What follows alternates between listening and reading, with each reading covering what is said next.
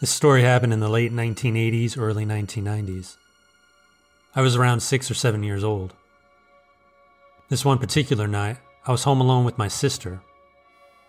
She was around 14 or 15 at the time. Anyway, it was about 8 p.m., and it was dark. We were in the common room since that was where the TV was. We were watching some crime documentary about a guy who went on a rampage and killed his next door neighbors and kidnapped their young daughter.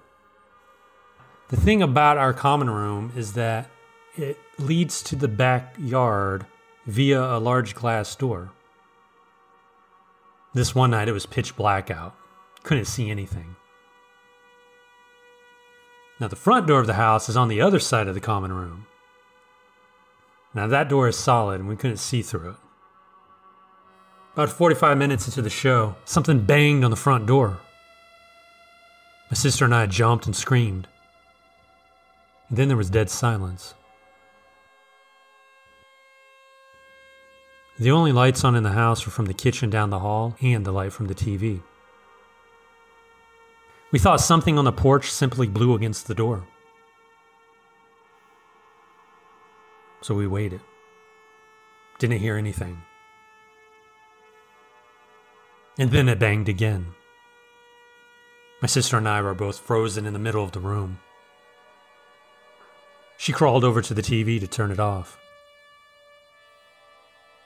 Now the only light we had was that dim light from the kitchen all the way down the hall.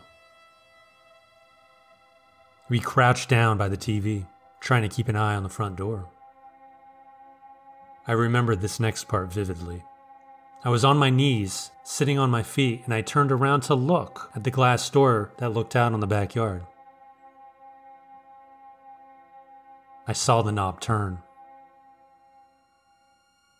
The door was locked on the knob, but not deadbolted. The knob rattled slightly, as if someone was gently trying the handle. My sister and I just held our breaths. And then bang, bang, bang, it sounded like someone was trying to force that door open, jerking it back and forth. My sister screamed a bloody murder. She got up and dragged me into her bedroom. She slammed the door, threw her mattress against it, and grabbed the phone. She tried to dial the sheriff, but she couldn't remember the number. I mean, it was the late 80s, early 90s. 911 wasn't a thing in our neighborhood. All she could do was hit redial on the phone. She got a hold of one of her friends and she told them what was going on. The friend said she would call the sheriff for us.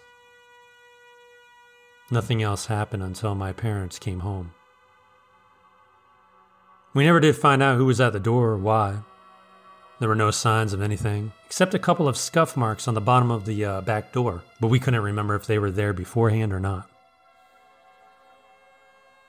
Nothing like that has happened to me since, but I never forgot to lock a door after that.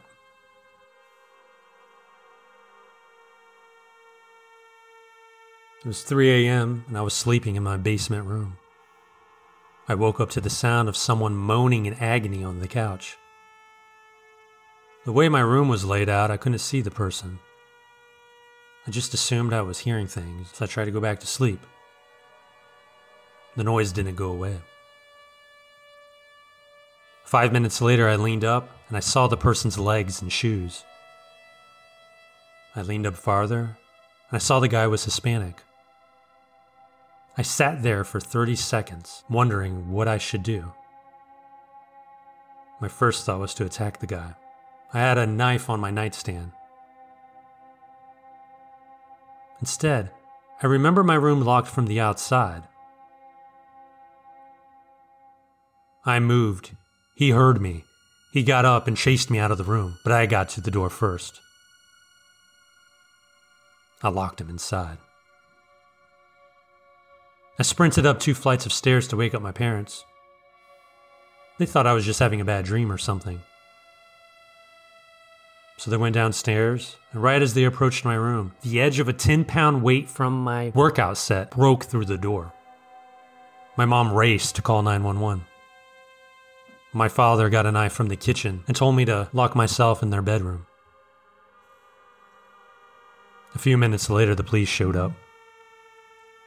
They arrested the guy and said he was drugged out of his mind on PCP. He apparently got in my room by diving through a window, but I didn't hear a thing.